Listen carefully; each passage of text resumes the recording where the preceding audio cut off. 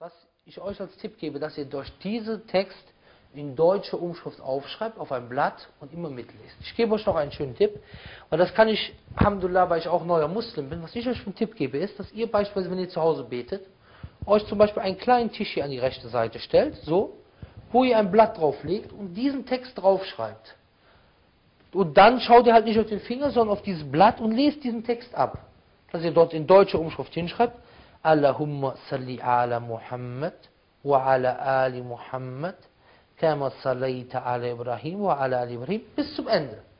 So, wenn man damit fertig ist und man ist im letzten Rakat, das heißt, man betet zum Beispiel zwei Rakats, letzter Rakat, dann sagt man Allahumma inni a'udhu bika. Und hier könnt ihr das direkt mitlesen. Man hält den Finger weiter so auf die Art und sagt, schaut normalerweise auf den Finger, aber ihr könnt euch das auf dieses Blatt schreiben. Das ist eine Notwendigkeit und ein Hilfsmittel, um, um, um das Gebet zu lernen. Ja? Dann sagt ihr, Allahumma inni a'udhu bika min azabi jahannam wa min azabi al-qabri wa min fitnati al-mahya wal-mamat wa min sharri masihi ad-dajjal. Das heißt, O Allah, ich suche Zuflucht bei dir vor dem Höllenfeuer und vor der Strafe des Grabes, vor der Strafe der Hölle, vor der Strafe des Grabes und vor der Verführung oder Versuchung des Lebens und des Todes und vor dem Übel oder min shari fitnati masih dajjal oder vor dem Übel der Versuchung des Messias dajjal des Antichristen. Diese Dua am Ende. Und wenn man damit fertig ist, wenn man damit fertig ist, dann sagt man,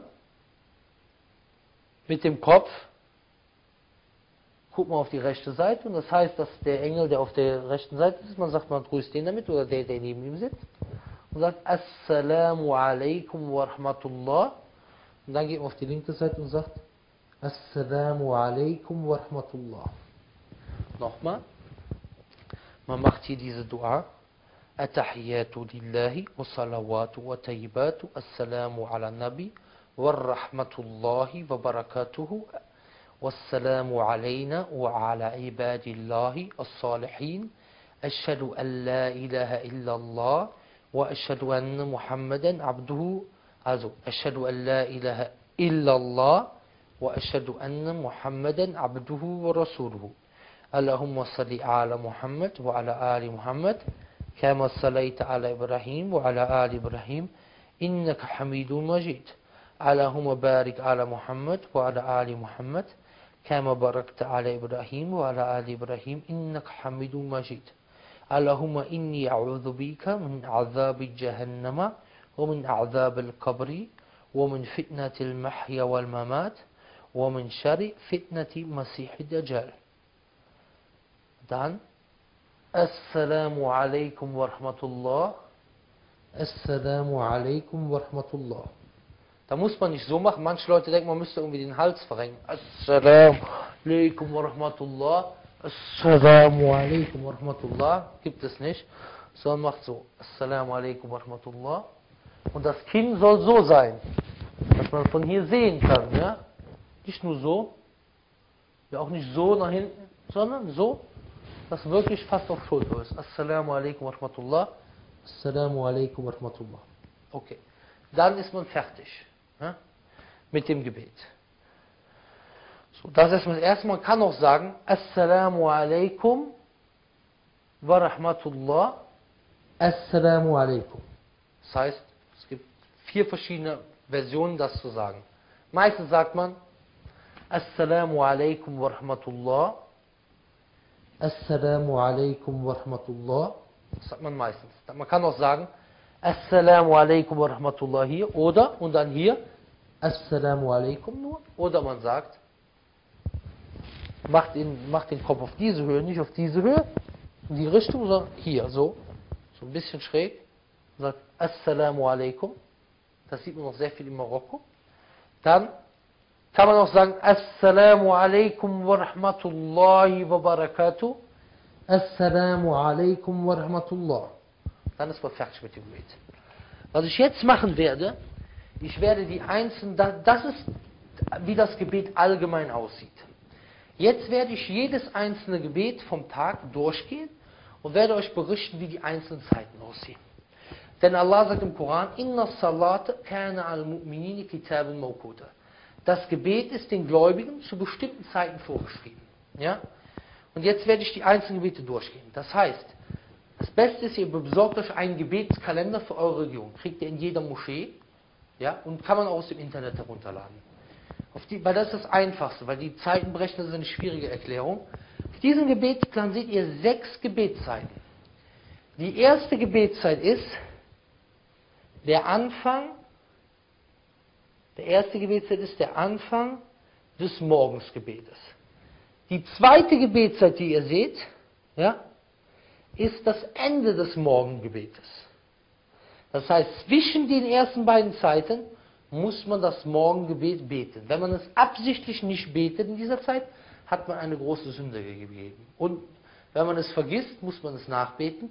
Man muss natürlich auch nachbeten, weil man schuldet es Allah, wenn man es absichtlich nicht betet. Aber das ist eine große Sünde. Das heißt, die erste Gebetszeit ist was? Ist, wo das Morgengebet anfängt. Die zweite Gebetszeit ist, wo das Morgengebet aufhört.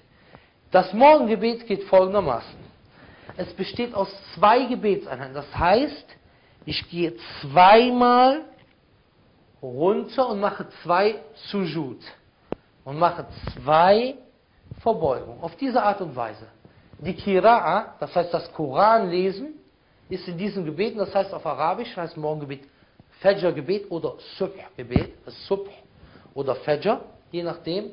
Es kommt auf die Region an, aber das ist beides richtig. Also ich fange wieder an wie? Ich sage Allahu Akbar.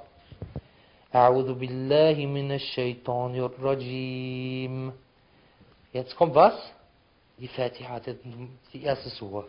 بسم الله الرحمن الرحيم الحمد لله رب العالمين الرحمن الرحيم مالك يوم الدين إياك نعبد وإياك نستعين اهدنا الصراط المستقيم. صراط الذين أنعمت عليهم غير المغضوب عليهم ولا الضالين.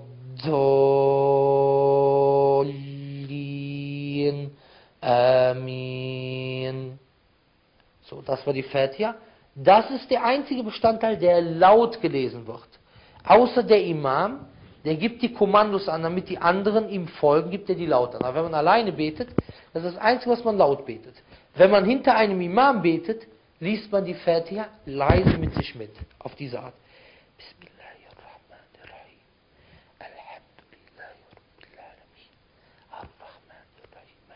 Okay? Also, wenn wir jetzt fertig sind, was machen wir? Allahu Akbar. Subhana Rabbil Azim, Subhana Rabbil Azim, Subhana Rabbil Azim, Subhana Rabbil Azim. Dann, Sami'allahu liman hamida. Rabbana wa lakal hamd. Allahu Akbar.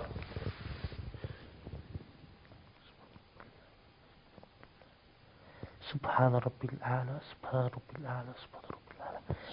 Allahu Akbar. Diese Dinge sind alle leise, wenn man alleine betet, auch wenn man hinter dem Imam betet. Nur als Imam sagt man das Takbir, Allahu Akbar laut. Ja? Ich mache das jetzt nur vor, damit man es lernt. Jetzt sage ich wieder, Allahu Akbar, leise, gehe runter. Dann sage ich leise, Subhana Rabbil Ala, Subhana Rabbil Ala, Subhana Rabbil Ala. Jetzt komme ich hoch und ich sage leise, Allahu Akbar. Bleibe kurz sitzen weil ich habe zwei Sujud gemacht, bleibe kurz sitzen, als wenn ich Brot knete, stelle die Hände auf und komme hoch. Stehe ich wieder, was mache ich? Ich sage, wenn ich alleine bete zu Hause, das lese ich jetzt laut, die Fatiha. Bismillahirrahmanirrahim. Und das Bismillahirrahmanirrahim kann man auch leise lesen. Okay. بسم الله الرحمن الرحيم. الحمد لله رب العالمين. الرحمن الرحيم. مالك يوم الدين. إياك نعبد وإياك نستعين. اهدنا الصراط المستقيم. صراط الذين أنعمت عليهم غير المغضوب عليهم ولا الضالين. آمين. الله أكبر سبحان ربي العظيم سبحان ربي العظيم سبحان ربي العظيم سميع الله لمن حمده ربنا ولك الحمد. الله أكبر. سبحان ربي الأعلى. سبحان ربي الأعلى. سبحان ربي الأعلى. الله أكبر. ربي ربي ربي الله أكبر سبحان ربي الأعلى سبحان ربي الأعلى سبحان ربي الأعلى الله أكبر. التحيات لله والصلوات والطيبات. السلام على النبي ورحمة الله وبركاته.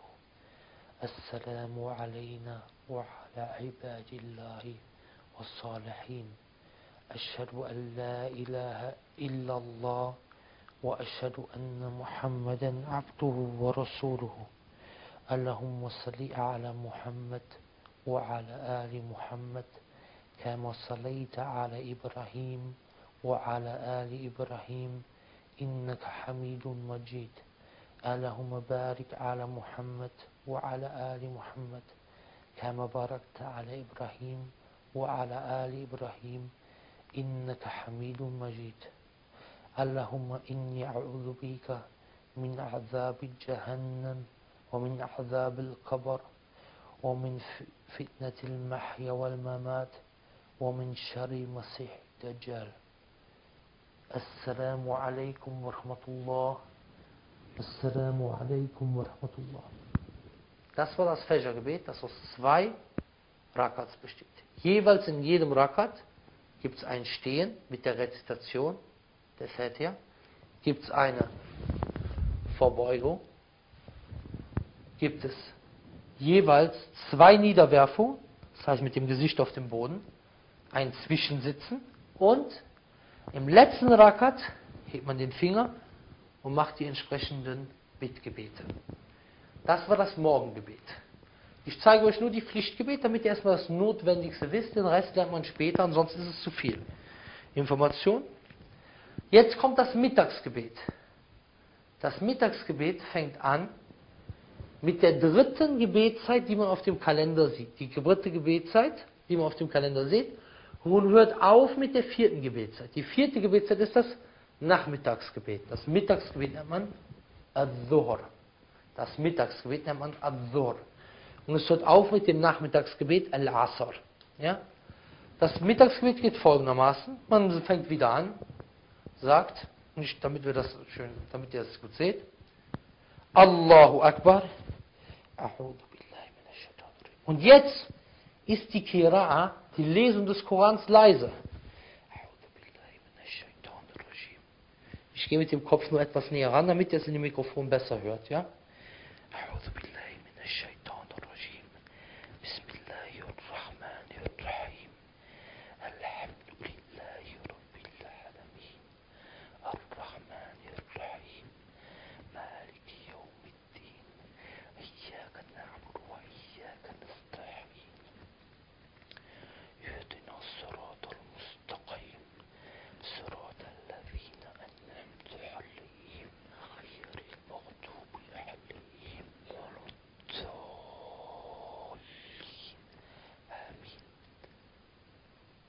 Allahu Akbar. Alle Kommandos leise.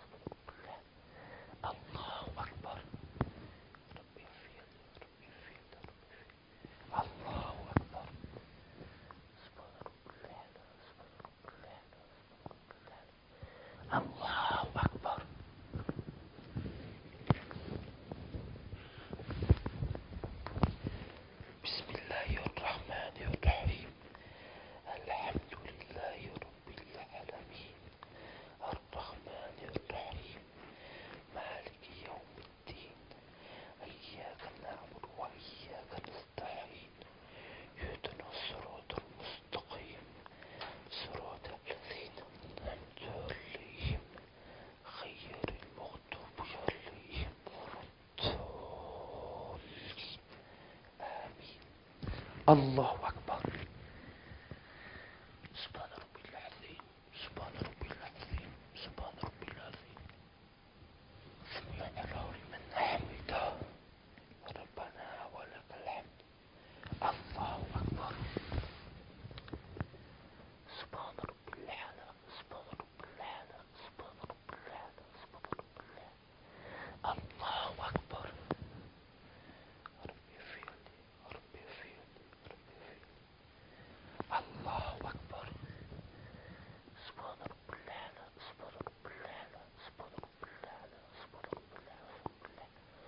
Allahu Akbar.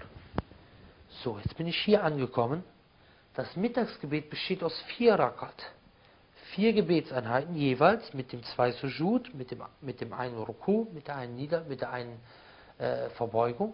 Jetzt sitze ich hier, nachdem ich zwei Sujud gemacht habe und ich stehe nicht sofort wieder auf, sondern in, nach dem zweiten Rakat mache ich folgendes. At-Tahiyyatu lillahi. Wa tayyibatu. السلام على النبي. على النبي ورحمة الله وبركاته. السلام علينا وعلى عباد الله الصالحين. أشهد أن لا إله إلا الله وأشهد أن محمدا عبده ورسوله. Wenn ich jetzt hier angekommen bin, brauche ich nicht mehr weiterzumachen, Allahumma salli ala Muhammad, sondern was mache ich? Ich sage Allahu Akbar und gehe nach oben. Und wenn ich jetzt oben angekommen bin zum dritten Rakat, hebe ich die Hände und tue sie hier drauf. Manche machen auch so. Manche machen auch so. Sie sind hier bei dem Tahiyat. التحيات لله والصلوات والطيبات السلام على النبي ورحمة الله وبركاته والسلام علينا وعلى عباد الله الصالحين أشهد أن لا أشهد أن لا إله إلا الله وأشهد أن محمدا عبده ورسوله und sie sagen dann Allahu Akbar und heben die Hände hier im Sitzen schon. Ja? Aber es gibt eine, ich habe einen Hadith gefunden, Majmu' Fatawa von Sheikh al-Islam und Temia, der eher darauf hindeutet, dass man sagt Allahu Akbar und die Hände hier. Aber diese Angelegenheit ist breit. Okay, jetzt bin ich im dritten Rakat. Was mache ich wieder? Genau dasselbe. Bismillahirrahmanirrahim.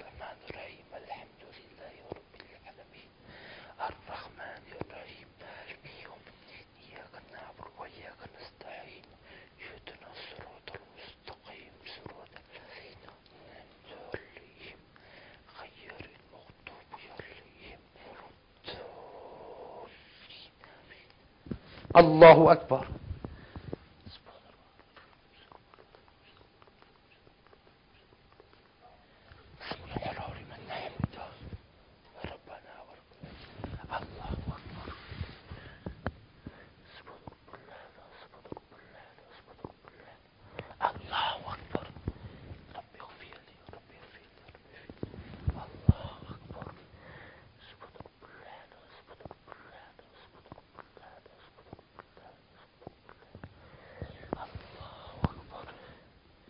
Jetzt stehe ich auf zum vierten Rakat, weil das Sur-Gebet, das Mittagsgebet, aus vier Rakat besteht.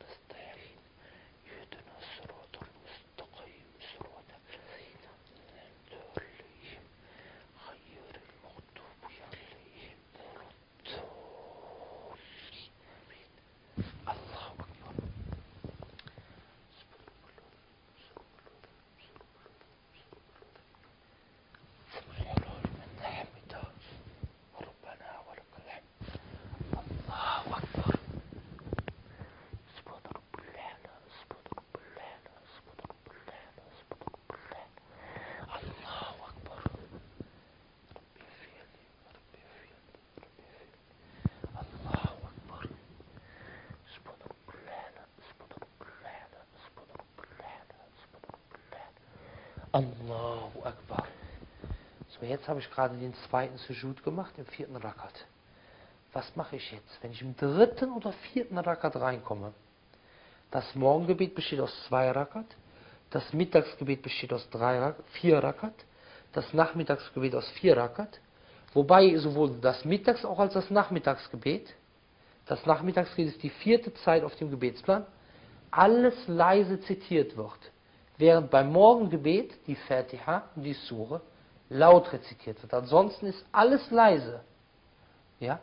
Die Fatiha wird laut zitiert, wenn man alleine zu Hause betet, oder der Imam betet laut vor einem und man betet hinter ihm leise mit. Jetzt bin ich im vierten Rakat am Ende angekommen. Vierter Rakat. Was mache ich jetzt? Jetzt gibt es eine andere Sitzung im dritten und vierten Rakat. Das Abendgebet wird laut gebetet, die ersten zwei Rakat. Im dritten Rakat ist Schluss. Das besteht aus drei Rakat. Ja? Und das, Abend, das, das Nachtgebet besteht auch aus vier Rakat. Jetzt mache ich folgendes. Im Unterschied zu den zwei Rakat. Wenn ich beim zwei Rakat am Ende sitze, zum Beispiel im Fajr-Gebet, das aus zwei Gebetseinheiten Rakat besteht, dann sitze ich so. Jetzt aber im, sitze ich im vierten Rakat, wenn das Gebet danach aufhört, so. Schiebe diesen Fuß hier durch und sitze auf diese Art und Weise.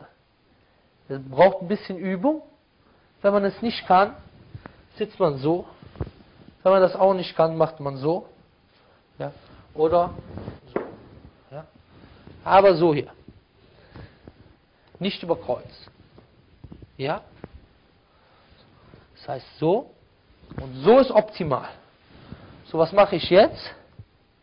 Wenn ich so sitze, ja, dass man es von der Seite sieht, und von vorne, jetzt bin ich im vierten Rakat, ich sage wieder Attahiyatu lillahi, aber leise, das ist alles leise, ich sage es nur laut, damit ihr es hört. Attahiyatu lillahi wa salawatu tayyibatu. Assalamu ala nabi wa rahmatullahi wa barakatuh. والسلام علينا وعلى عباد الله الصالحين. أشهد أن لا إله إلا الله وأشهد أن محمدا عبده ورسوله. اللهم صل على محمد وعلى آل محمد كما صليت على إبراهيم وعلى آل إبراهيم إنك حميد مجيد. اللهم بارك على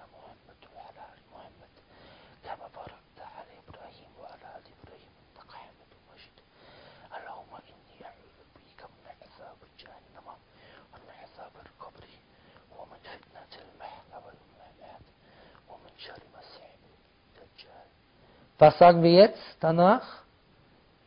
Assalamu alaikum wa rahmatullah. Assalamu alaikum wa rahmatullah. Wichtig ist, was, ich, was habe ich für einen Tipp gegeben, damit man dieses Attahiyatu Lillahi schnell lernt?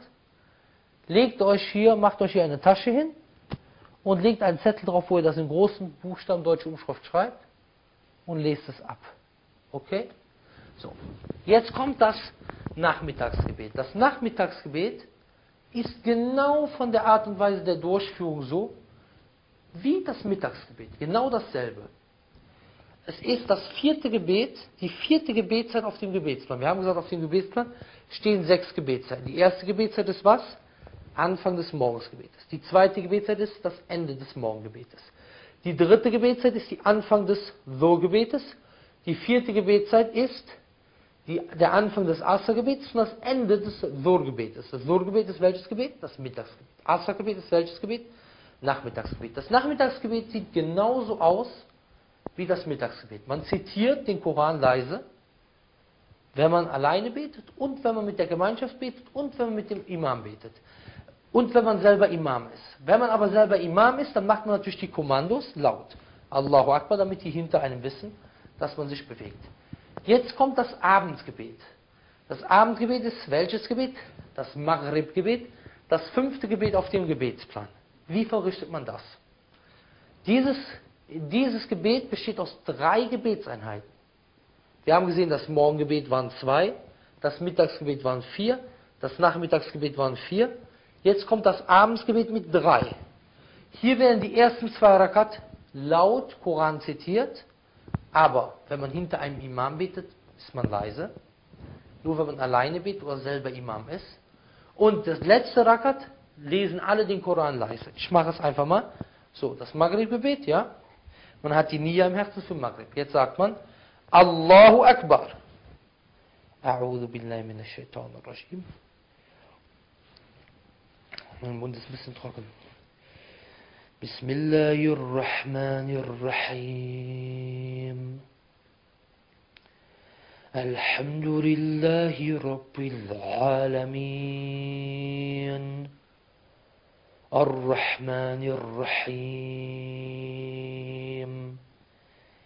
مالك يوم الدين. إياك نعبد وإياك نستعين. اهدنا الصراط المستقيم. صراط الذين أنعمت عليهم غير المغضوب عليهم ولا الضالين. Amen. Wie gesagt, die Augen bleiben immer auf. Ich mache die, hab die jetzt manchmal zugemacht, das ist einfach Reaktion, weil es auch ein bisschen spät jetzt ist. Okay, jetzt, was sagt man danach? Allahu Akbar. Jetzt sagt man wieder leise alles.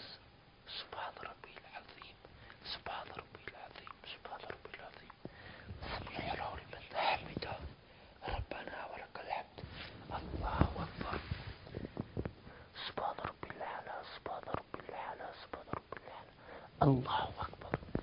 Rabbi اغفر لي ربي اغفر لي ربي اغفر لي. الله أكبر. سبحان رب الأعلى سبحان رب الأعلى سبحان رب الأعلى الله أكبر.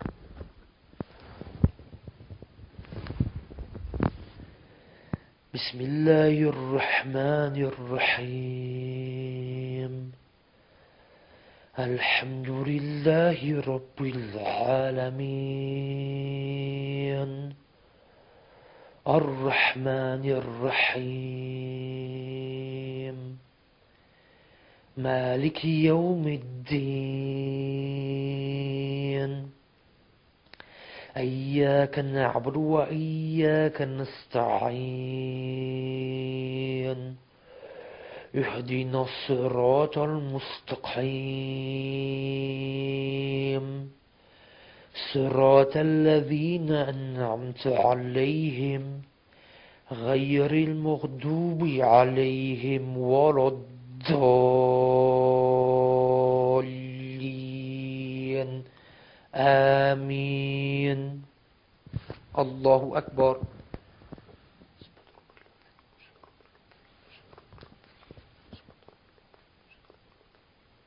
Ich habe mich jetzt nur umgedreht, damit man das nochmal aus dieser Perspektive sieht.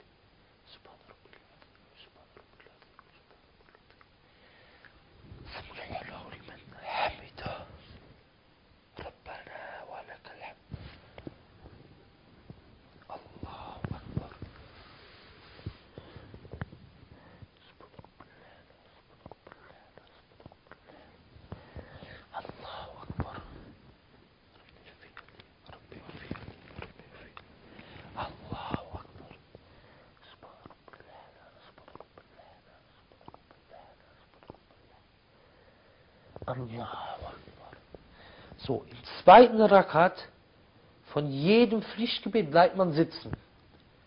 Wenn es der zweite Rakat vom Morgengebet ist, weil das Morgengebet nur aus zwei Rakat besteht, macht man bis zum Ende durch. Allahumma salli ala Muhammad wa ala ali Muhammad. Wenn es der zweite Rakat von den anderen Gebeten ist, macht man nur bis, man kann auch weitermachen, aber für die Anfänger erstmal. Es gibt da auch noch einige Details, die möchte ich jetzt noch nicht erwähnen, das ist noch nicht so wichtig. Macht man nur bis Ashhadu an la ilaha illallah wa ashhadu anna Muhammadan abduhu wa rasuluhu. Okay? Ich mache nochmal vor.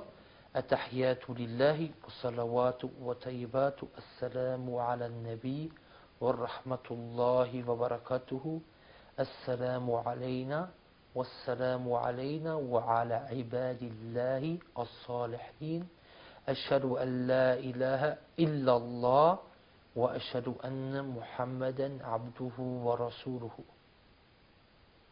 Jetzt sagt man Allahu Akbar. Ich gehe einfach wieder runter und sage, jetzt sind wir im dritten. So, wenn ich jetzt Allahu Akbar sage, dann gehen wir hoch zum dritten Rakat. Das war der zweite Rakat. Jetzt sage ich Allahu Akbar, dann kommen wir zum dritten. Also, nochmal. Ashadu an la ilaha illallah wa ashadu an la ilaha illallah wa ashadu anna Muhammadan abduhu wa rasuluhu. Allahu Akbar. Jetzt kommen wir zum dritten hoch. Und jetzt, wie zitiere ich jetzt die Fatiha, die erste Sure? Leise. Sowohl der Imam, als auch der, der hinter dem Imam betet, als auch derjenige, der alleine betet.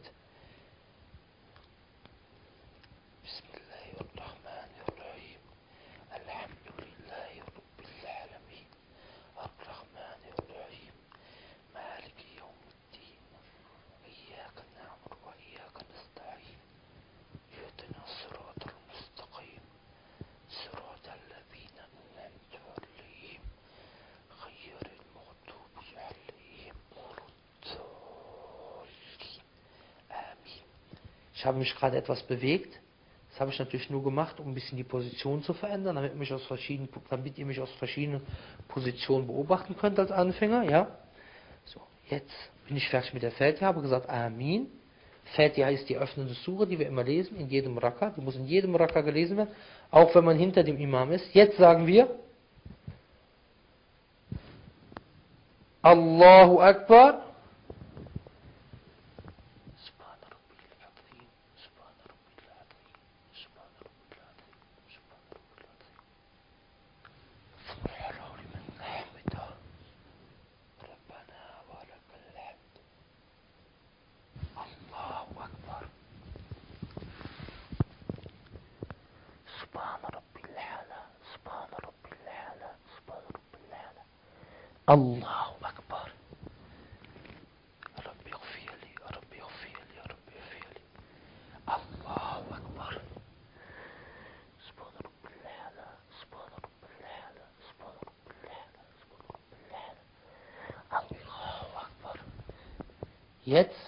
Zwei Rakats gemacht, im dritten Rakat.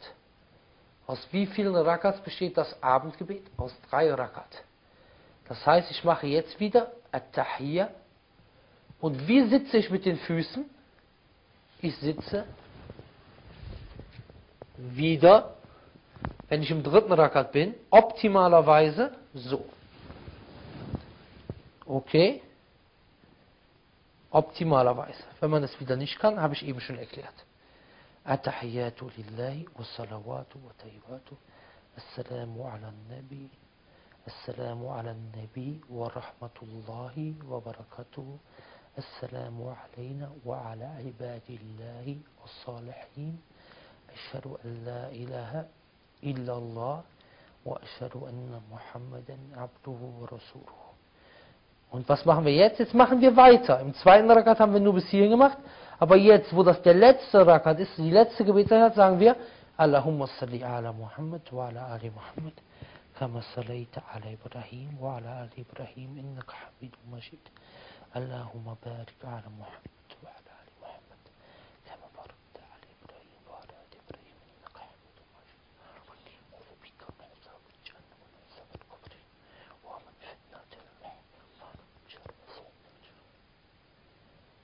Was machen wir jetzt? Jetzt haben wir gesagt, ومن شر مسيح الدجال السلام عليكم ورحمة الله السلام عليكم ورحمة الله so.